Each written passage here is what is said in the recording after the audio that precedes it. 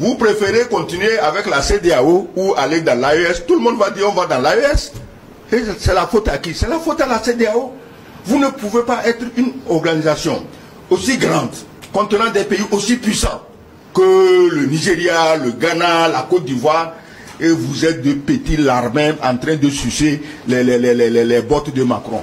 Donc ça veut dire que vous êtes discrédité. Et si vous êtes discrédité, je ne sais pas comment un homme censé, un pays censé peut continuer à se revendiquer de la CDAO. La CDAO, c'est devenu une histoire de rentier à Abuja. Ils sont là-bas, ils ont de bons salaires. À part ça, il y a quoi? Dis-moi le contenu. Qu'est-ce que tu vois sur le terrain que la CDAO a fait dans ton pays? Rien. Absolument rien. Donc, si l'AES veut agir sur le terrain, une réelle intégration économique, mais l'AES le fera.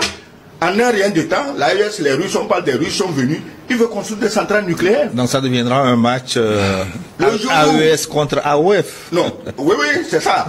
Le jour où les Burkinabés maliens auront leur centrale nucléaire, ils auront tellement d'énergie qu'ils peuvent te la vendre ici et que tu payeras à peine le quart de ta facture d'électricité. Mais euh, Gilles, il n'y a pas besoin de référendum pour qu'on aille voir, pour qu'ils tous nous balancer l'électricité. La CDAO a fait quoi? La France a fait quoi dans ces pays? Sans la Russie, on n'aurait jamais appris qu'il est possible de mettre une centrale nucléaire chez des nègres. Sans la Russie, c'est pas possible. Alors, qui a tort dans cette affaire? Eux, ils vivent grâce à la Russie.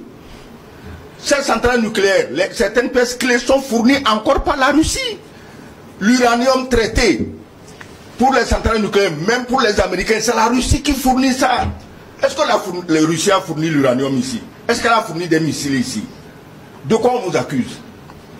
Donc moi je dis ceci. L'AES n'a jamais dit à personne qu'elle veut inclure qui ou quoi que ce soit. Mais la situation sera telle que c'est des pays même qui vont demander à aller avec l'AES. Parce que s'ils ne sont pas dans l'AES et s'ils n'ont pas eu monnaie, au lieu des feuilles de chou de chamalier, ils n'iront pas dans les BRICS.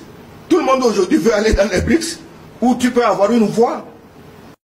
Alors que c'est lui le président de la CDAO. Voilà comment la, guerre n'a jamais eu lieu.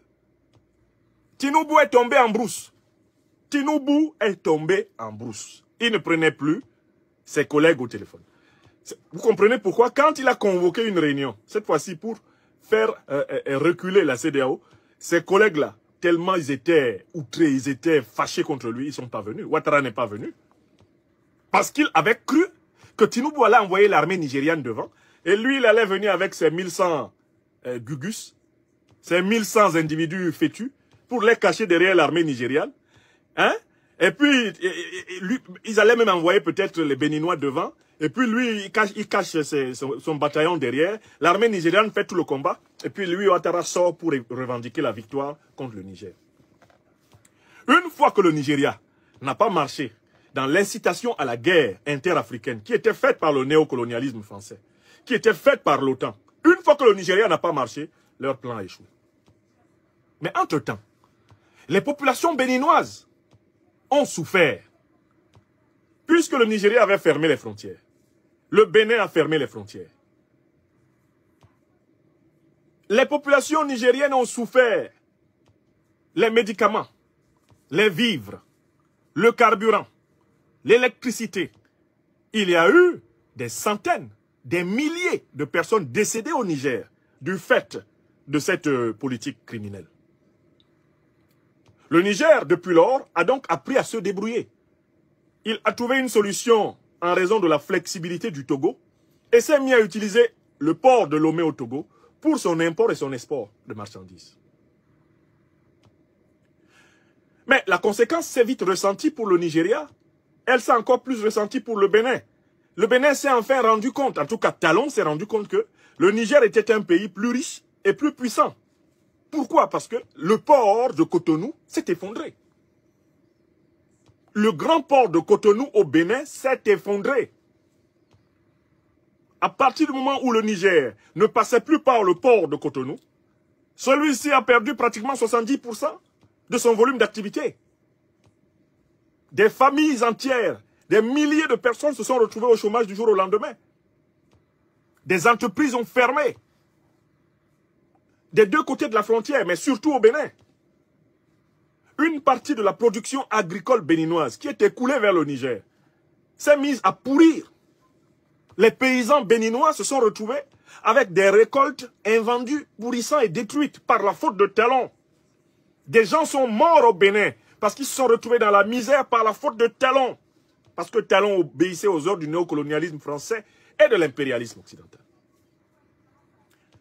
C'est quand Talon s'est rendu compte qu'en fait, dans le rapport de force économique entre le Niger et le Bénin, le Niger avait trouvé une solution par le Togo. Une solution en passant à travers le Mali jusqu'en Guinée-Conakry, par le port de Guinée-Conakry. En se rendant compte que le Niger avait trouvé cette solution, Talon s'est retrouvé avec l'opinion béninoise retournée contre lui. D'abord les commerçants, les familles des hommes d'affaires qui travaillent sur la frontière nigéro-béninoise sont montés sur talon. La jeunesse béninoise panafricaniste révolutionnaire s'est réveillée. Avec son chef de file, mon jeune frère bien-aimé, Kemi Seba, pour monter à la critique. Une délégation de chefs traditionnels du Bénin est venue au Niger dire aux Nigériens que la chefferie traditionnelle profonde du Bénin, l'un des pays à la religion africaine la plus dense, le vaudou, ils sont venus dire que le Bénin profond était opposé à la politique de Talon. Talon a été désavoué par toutes les forces vives béninoises. Même de son propre parti, des voix se sont levées pour dire non. Des voix se sont levées pour dire non. Voici que ce bon monsieur de Talon devant son échec et se rendant compte que le Togo avait tiré son épingle du jeu et que le Niger vivait sans lui, talon coincé, talon talonné, talon au bord de l'effondrement, talon se sentant petit, s'est mis à rétro-pédaler. Mais à rétro-pédaler d'une manière complètement malencontreuse, d'une manière gauche. Talon s'est mis à tisser un récit selon lequel, bon, c'est la faute au Niger. Si la normalisation à la frontière bénino-nigérienne n'a pas encore eu lieu. que Talon s'est mis à construire un, un narratif dans lequel c'est le Niger qui a tort et c'est le Bénin qui a raison. Talon s'est mis à construire un narratif dans lequel le Niger ne doit pas tenir compte de toutes les conséquences de ce que le Bénin lui a fait. Le Niger doit revenir naïvement vers le régime béninois et lui faire confiance, comme si rien ne s'était passé. Talon s'est mis à construire un narratif dans lequel le Niger ne doit pas tenir compte des changements géostratégiques qui ont eu lieu au Niger.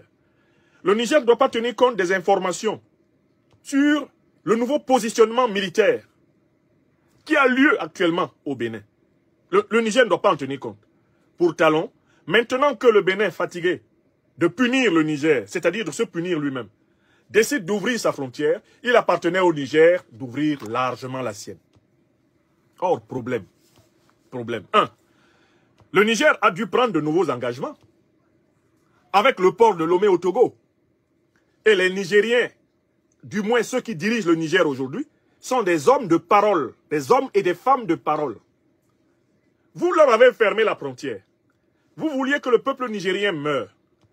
Le Niger a négocié avec le Togo il a signé de nouveaux accords pour commercer, pour faire entrer et sortir le gros de ses marchandises avec le Togo.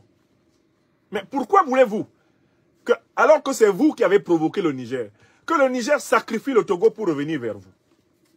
Voilà la question à laquelle Talon ne veut pas faire face. Il veut présenter l'affaire comme une banalité.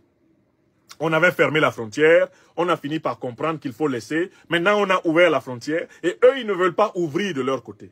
Attention, les choses ne sont pas aussi simples. Pourquoi avez-vous fermé la frontière si nous étions des pays frères? Si vraiment vous teniez à notre vie, comme nous, nous tenons à votre vie, parce que nous, nous n'avons jamais fermé la frontière comme vous. Pourquoi avez-vous fermé la frontière?